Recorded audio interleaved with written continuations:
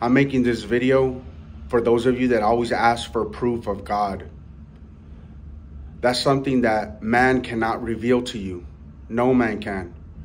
I don't care how anointed he is, he cannot reveal that to you. Your pastor can't, priest can't, your favorite prophet can't.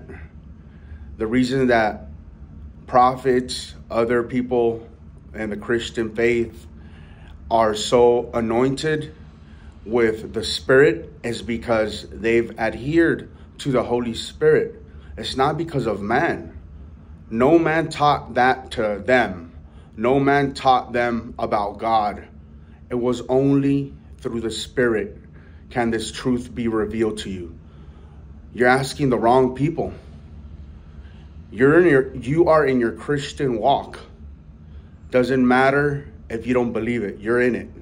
You just haven't came to the realization like most of us or like some of us have.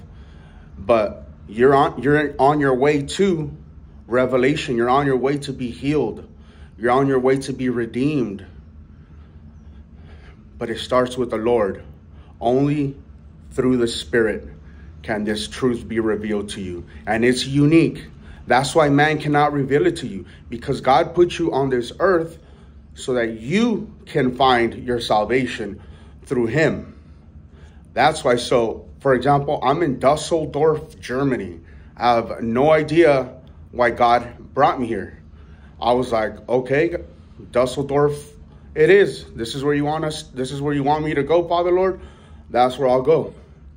You're not gonna come to Dusseldorf, right? Because the Holy Spirit is not guiding you through me. Do you know what I mean? Humans are flawed. So if you're asking humans questions that no matter how intelligent we are, no matter how anointed we may be, you're asking the wrong person. You need to be looking up to God and asking Him to bless you with the Holy Spirit because these are truths that only the Spirit can reveal. You're going to be sent somewhere else than I was sent to. You're going to be guided in a different path. You know, we don't all walk the same path, but we all go to the same destination.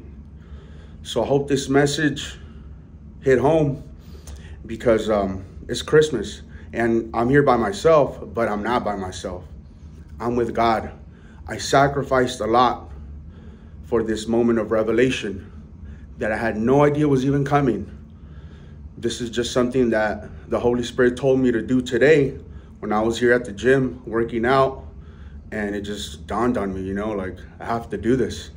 And I'm doing it because there's a lot of you out there asking humans for proof of God.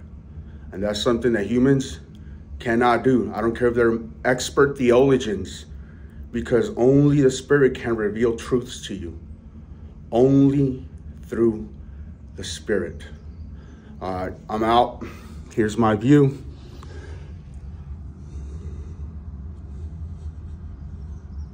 Stay tuned for some epic long form videos of Dusseldorf.